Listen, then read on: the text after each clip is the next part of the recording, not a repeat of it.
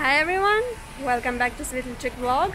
In my videos before, I never talked about any other famous YouTubers that live or used to live in China. And today is an exception.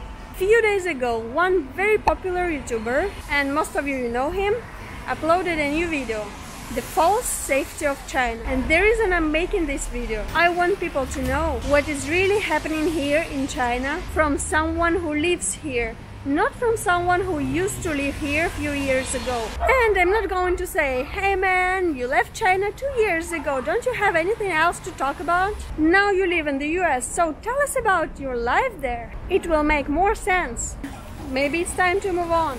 But and the funny thing is that he said it himself in his last video uh, that you can sell bad news better than the good news. So now he's trying to sell bad news about China. But okay, let's not talk about this. What I really want to talk about is his last video. And it was interesting to watch it though, you know why?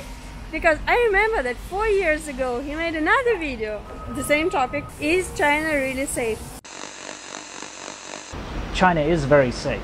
It's an incredibly safe place. You don't need to worry about your personal safety. You don't need to worry about getting mugged or attacked randomly. In his video four years ago, he said, The whole purpose for me starting this YouTube channel in the first place was to prove to my friends and family that China was safe, interesting, and not the place that you hear about at the news. So the answer to that question is yes, China is very safe. However, there are a couple of things here in China which aren't very safe. So basically he's saying that life here in China in general is very safe. Now let's take a look what was not safe for him four years ago.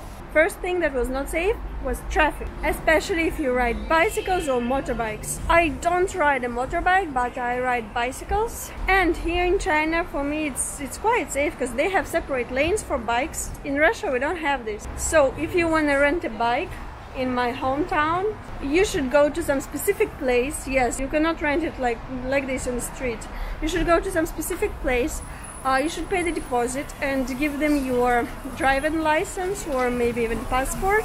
If you will steal this bike, they can find you. And the funny thing that you can ride this bike only there. But there are so many people there always. And I remember once I fell from the bike over there.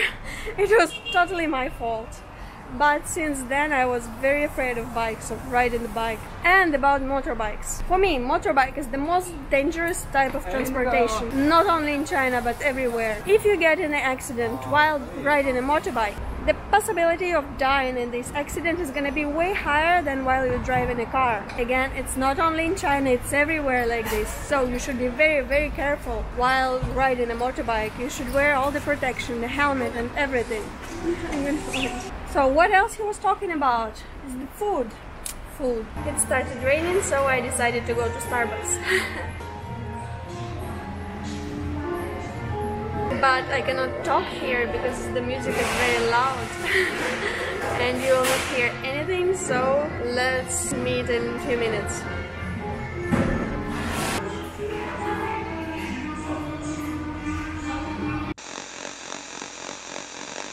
So let's continue.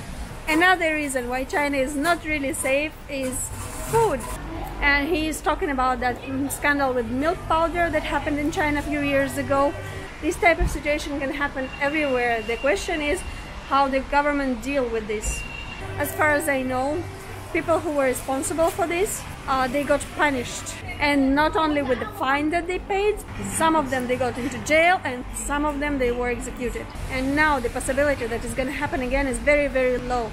Another thing about the food, he says like uh, you cannot be sure where they grow their vegetables that you buy in the market and everything. In these six years that I've been living in China, I got food poisoning only once. And it was food that I cooked myself. It's very embarrassing to say it, but yeah, it happened. And not because I cooked some shit or something. It's just it was very hot. I cooked chicken and this chicken, I left it on the table for the whole day. When I ate it in the evening, of course I got food poisoning.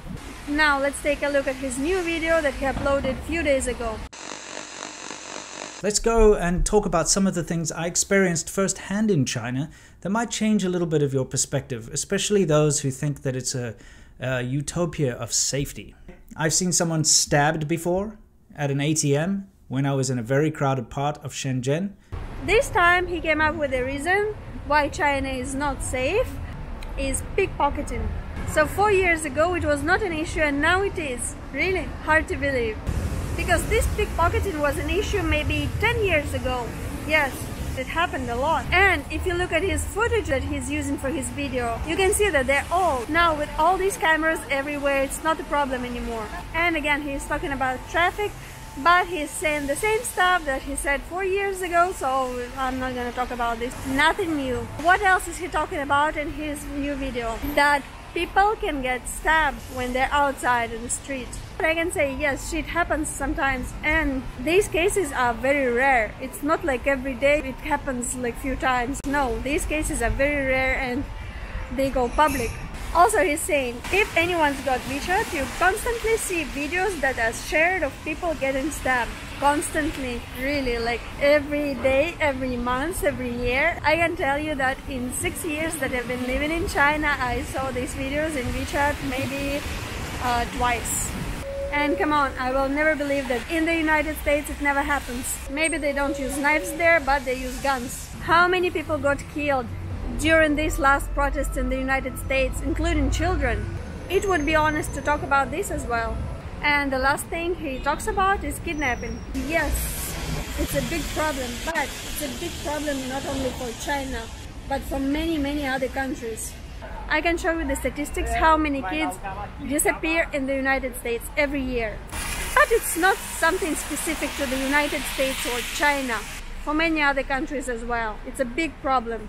Every year, more than 15,000 children disappear in Russia. And of course, this statistic includes all the cases when kids run away from home themselves or when parents get divorced and one of them, mother or father, takes the child. But still, it's a lot. And of course, this is the problem that all the countries, they should work really hard to try to solve this.